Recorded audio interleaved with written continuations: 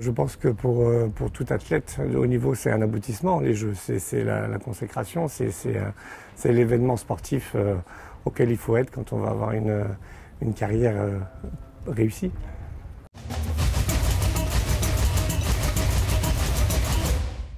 Je ne l'imagine pas parce que je ne l'ai jamais vécu. Donc il y a quelques moments forts auxquels j'ai vraiment très envie de participer, c'est-à-dire vivre au village olympique faire la, cérémonie d'ouverture, ça je pense que ça va être un grand moment, et puis participer aux épreuves.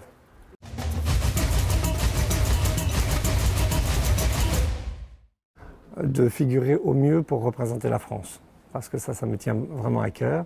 Il y a tout un travail qui a été mis en place depuis quelques années avec la fédération, auquel j'ai la chance de participer. Euh, j'ai pu faire les championnats d'Europe l'année dernière où on a quand même on a fait une, sixième place par équipe, ça été extraordinaire.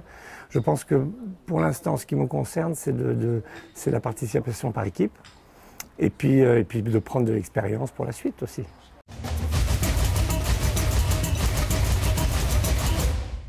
Je n'y ai pas vraiment pensé en fait. J'ai vraiment euh, construit ma, saison et mes saisons depuis 5-6 ans, concours par concours. Donc euh, évidemment, il y a une, grosse échéance par an, mais, mais je n'ai pas euh, axé sur une échéance particulière.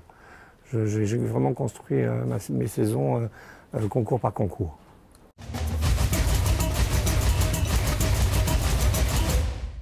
Je pense que l'objectif principal, c'est de rentrer dans les six meilleures équipes pour l'équipe de France. Après, on verra.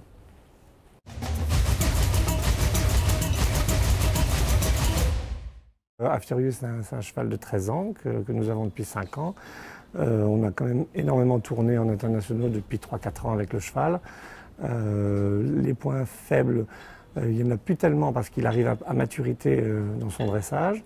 les points forts, c'est un cheval qui n'est pas du tout émotif quand il y a du monde. Donc ça, je pense que c'est un, avantage dans ce, dans ce, genre de grande échéance. c'est un cheval qui est endurant et c'est un cheval sur lequel je peux compter.